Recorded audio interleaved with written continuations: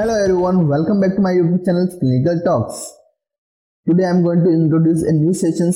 The session name is Play and Learn. Before starting the game, the basic thing we should know, let's discuss the course number 0. The most important organ in our body is brain, heart and lungs. The brains control the many processes in the body and essentially contain our personalities Keeping the brains alive is our main concern. The second one is the heart. The heart pumps blood throughout the body and with its oxygen and other substance. And last one is the lungs. In the lungs, the blood pumped by the heart is saturated with the oxygens and release the carbon dioxide. Brain. This organ is extremely vulnerable without oxygenation irreversible damage is occur within 5 to 7 minutes. The brain is responsible for many functions. It is the important for us to know the respiratory center which is located in the brains and gives command to inhale and exhale. Turn off soon as after the brain begin the lack of oxygen. Therefore, it is necessary to monitor the patient's breathing and in his absence to perform the artificial respirations. The second one is the lungs. The function of the lungs is gas exchange occur in the lungs throughout the thin walls of alveoli and capillaries. The oxygens enter the blood streams and carbon dioxide from the blood enter to the lungs and exhale. Many things affect this process. The oxygen concentrations in the inhaled air is 21% because of 21% oxygen in the atmosphere air. Second one is the airway state. Third, lung disease and blood pressure. More about lungs we will discuss later. Let's discuss about the heart. You can see the numbering 1 and 2. The one number is to atrial which is shown the blue, light blue in color and second one two ventriculars which is shown in the red color. We will test the pericardium and myocardium on the following course. We will not talk about the blood circulations at all. Just remember the mainly function of ventricular is the pumping the blood. Even if the non-functions atrials, a patient can be alive. If any problems in atrials or not able to pump the atrials, also patient can be alive if ventricular is intact. Let's expose the cardiac conduction system. You can see the number 1, number 2 and number 3. The cardiac conduction system is responsible for the generations and transmission of electrical signals that cause the heart to contract.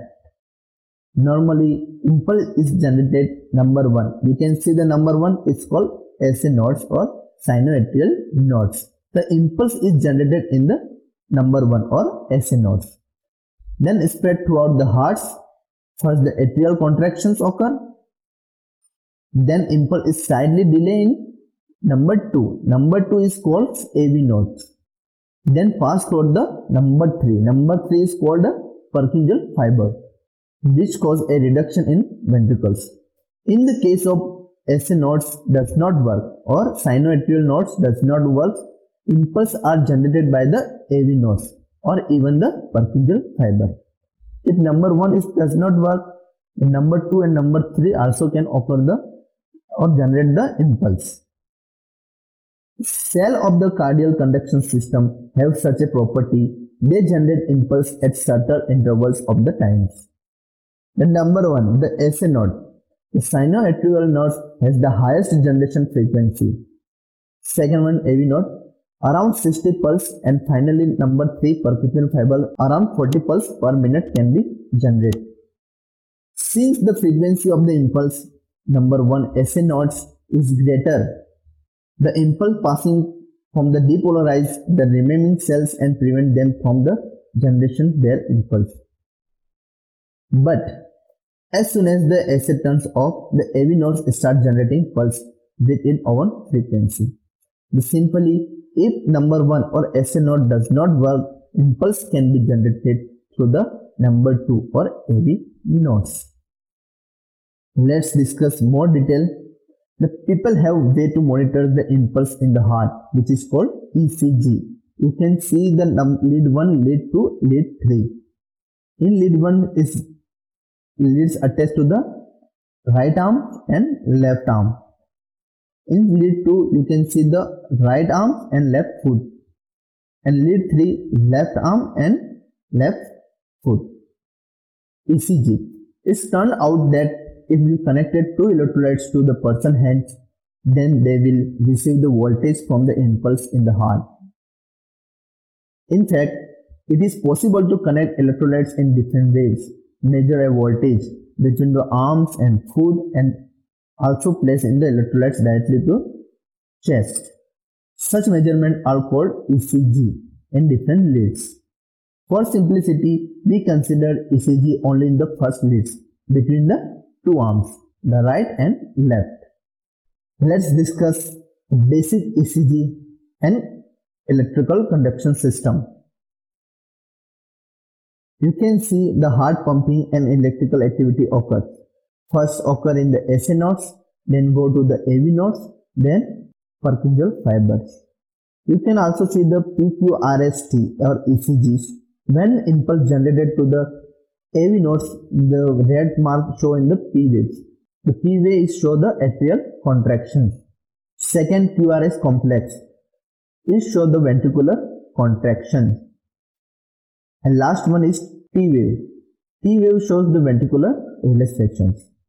When the signal does to the electrodes, we see the positive voltage. Let's discuss further. You can see the two different ECGs. First one is the sinus rhythms and second one is the atrial fibrillations. What do you mean by the sinus rhythm? Sinus rhythm. The normally heart rhythms when its impulse come out of the SA node or sinus nodes. The heartbeat with the same frequency is called sinus rhythm. Many times you use the sinus tachycardia, sinus bradycardia. What do you mean by sinus? The sinus is sinus it means impulse generated from the SA nodes or sinus node. Second ECG, atrial fibrillations. What is atrial fibrillations? It is a condition of the heart in which the atria contract very often and erratically. It may occur due to the various reasons such as ischemia of the heart, multiple pulse sources occur in the atria. In this case, the atrials and ventricles contract independently in this case, the atrial and ventricles contract independently. In this state, the heart continues to perform the pumping functions. There is no threat of the life. Let us examine what is called cardiac arrest. These are the conditions in which the heart does not perform the pumping functions and perform very weakly. In fact, in the most case of the heart does not stop. The type of cardiac arrest. There is the ventricular fibrillations or ventricular tachycardia. VT and VF.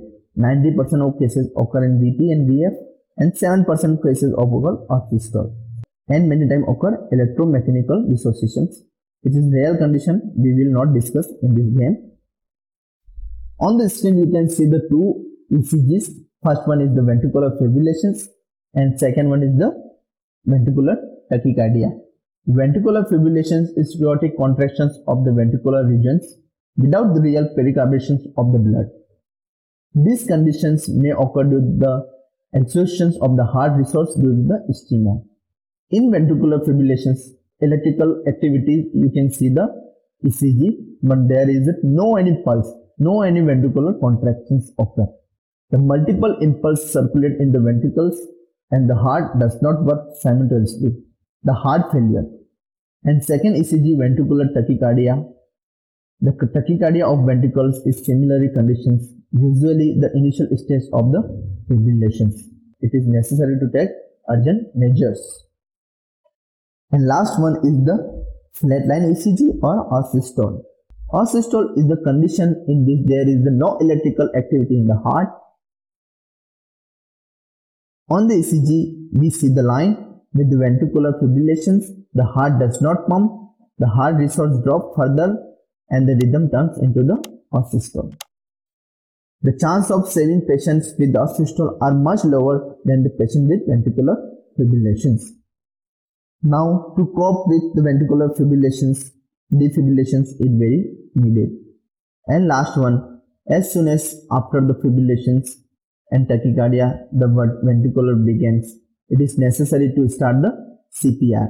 Immediately start the CPR and give the drugs. Normally we use the adrenaline.